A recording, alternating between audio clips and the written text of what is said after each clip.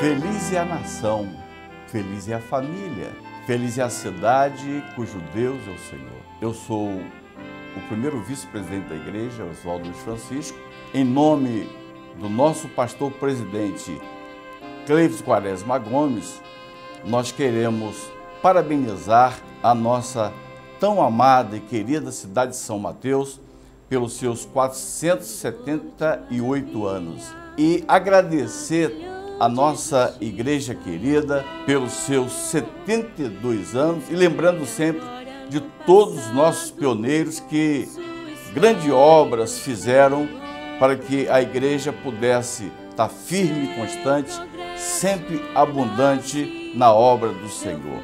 Encerrando com aquela palavra para edificação de todos nós. São Mateus é do Senhor Jesus Cristo e o povo de Deus declare isto. Meu muito obrigado.